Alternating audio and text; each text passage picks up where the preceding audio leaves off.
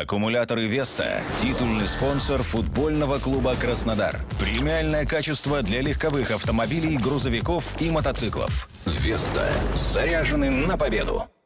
Молодежка Краснодара в пяти предыдущих матчах уступала соперникам из «Спартака». Увы, не прибавилось положительных эмоций у юных горожан и после отчетного поединка. Начался он с фундаментальных атак хозяев поля.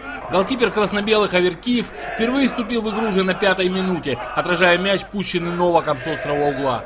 Однако продолжение от краснодарцев не последовало.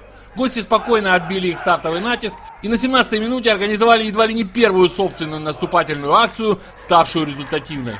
Центрфорвард Спартака Артем Федчук избежал офсайда и опеки защитников, сблизился с Кавлиновым и неотразимо пробил в дальний угол. Отыграться юные быки попытались сразу же. Чаров сместился справа в центр и выстрелил метров с 18. Аверкиев перевел снаряд через перекладину. Почувствовал же вкус гола Фитчук, ответил на это своим прорывом на 21-й минуте. Кавлинов не дрогнул. Пару минут спустя Ахриев пальнул с перспективного штрафного, выше цели. А в следующей атаке Спартаковец своей штрафной уронил Борисова, однако рефери из Ростова-на-Дону Стрельцов предпочел этого нарушения не заметить. Открытый футбол продолжался еще минут пять, которые уместили в себя неточный удар спартаковца Бакаева с выгодной позиции, промах Фитчука, замыкавшего с нескольких метров диагональ Пантелеева, и мощный залп Ахриева, после которого снаряд рассек воздух над створом ворот гостей. А затем игра закупорилась, практически до финального свистка. Обе команды, начиная минуты с 33 стали действовать в невысоком темпе и с оглядкой на собственные тылы. При этом процент брака в передачах был запредельно высоким. Неудивительно, что при таком футболе не то что опасные моменты, удары по воротам были большой редкостью.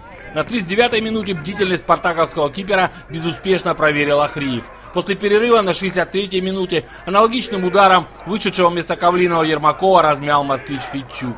На 75-й минуте рефери не разглядел игры рукой со стороны спартаковцев собственной штрафной. А пару минут спустя супер шанс упустил хавбек красно-белых Бабаев, ахнувший в небеса с убойной позиции.